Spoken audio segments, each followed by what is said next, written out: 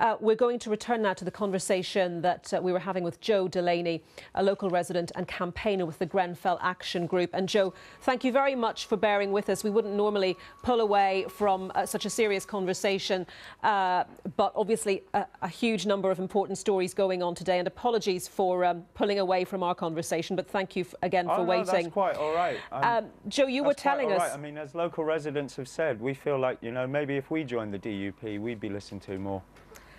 to be quite honest, because it seems that, you know, Theresa May's attention is only focused on things that will keep Theresa May in Downing Street. She spent one and a half billion pounds to keep her home. They were unwilling to spend 5,000 in order to ensure ours didn't burn down. Joe, you were saying that you were in a meeting uh, with the judge, the former judge who's been appointed to lead this public yeah. inquiry. You were explaining just before mm -hmm. we mm-hmm. pulled away that a lot of people are concerned that his are concerned that his experience is mainly around areas yeah. of commercial law. You think it should be someone with a, a background in criminal law. The point has been made or raised by a number of people that actually it's that commercial experience that will allow him to dig down into the details of cladding, uh, contracts and so on uh, to try to determine what went on uh, with Grenfell. Do, do, you accept that point at all? Uh, I accept that point to a certain extent. However, if you look at the work that the Grenfell Action Group have done over the last five years, they've, they've proven quite competent at being able to dig through contracts and find things that were safe and unsafe, you know, and where their wishes were ignored. So whilst I can see this as being a small part of the inquiry, we do think that the wider remit of the inquiry does need to be sort of led by someone with a more criminal mind, you know, who can dig down into the facts and get to the, get to the bottom of issues far quicker. A, a, simple contract dispute isn't going to answer the questions as to why so many people died and why so many people were evacuated.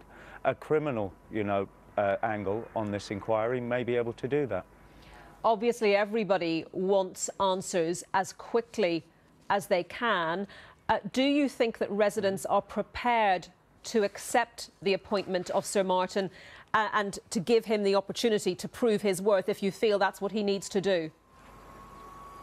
Well, I mean, it does look to us more and more that there is an attempt now to split this inquiry into several strands. And that, I think, is going to cause real disquiet with local residents. You know, we, we're, we're still you, waiting What do you mean by that, Joe? Sorry, splitting you know? it into several strands. Well, I mean, even uh, even Sir Bick um, said today he saw himself as more as a contracts person, and whether there was criminal negligence or things like that, you know, he may touch upon those issues, but that certainly wouldn't be the focus of his investigation, or whether there's been outright criminal activity by any of the companies or individuals involved. He didn't see his investigation either. Personally, I and I know a lot of the residents see that as crucial. And so it does seem that there will be different strands to this inquiry.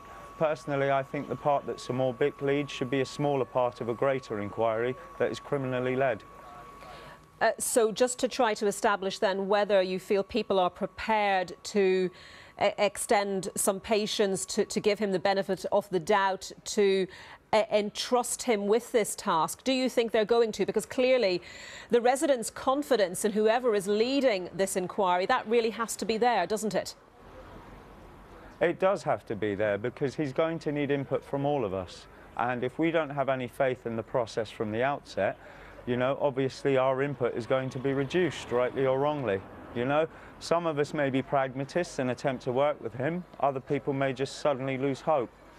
I mean, if you look at the Taylor inquiry, the Taylor inquiry delivered very technical recommendations when it was published 30 years ago into the Hillsborough disaster. It was only yesterday that criminal charges were announced. You know, frankly, we don't have the time or the patience to wait that long. After all, most of the evacuees' hotels are only booked until the 31st of July. Uh, do you think actually then if speed is of the essence, which clearly it is, uh, you want to get the proper answers, but you want to get those answers quickly, uh, that actually Sir Martin should get on with the job and uh, you can see whether that does lead to criminal charges?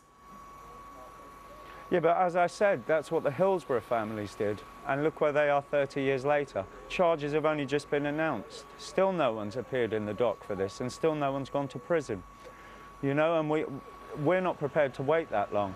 The Hillsborough, the Hillsborough group have already contacted us and expressed their support and are willing to cooperate with us. You know, it shouldn't be the case that victims of these sorts of atrocities all around the country have to band together in order to ensure justice.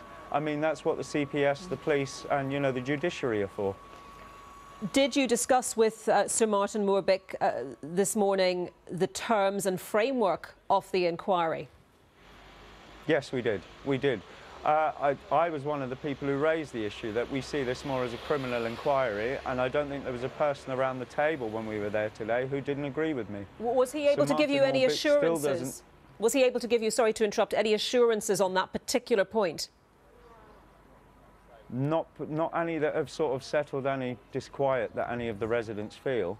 As I say, I mean, he's a very good lawyer when it comes to insurance and maritime law. You know, I get that he's dealt with fires on huge ships and oil tankers and things like that in the past. I get that this is an unprecedented incident at the tower over there. But you see, I still don't think that he sort of gets the issues as we, as we perceive them as residents, you know, and perhaps the case he was involved with, with the poor woman and her family who were moved to Milton Keynes is indicative of that. You know, I, I, I really do want to give him the benefit of the doubt.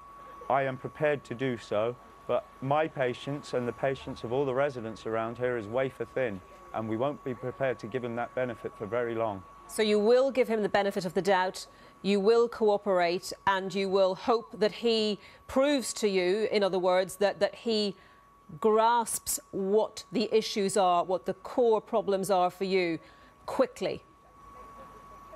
Well, I'm just one person who's around here. I, I mean, I don't speak on behalf of every resident who's involved.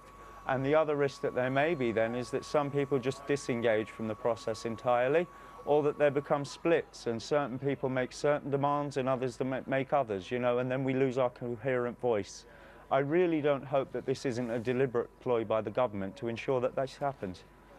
OK, Joe Delaney, very good to hear from you uh, today and thank you for your thank time. You. Joe Delaney from the Grenfell Action Committee.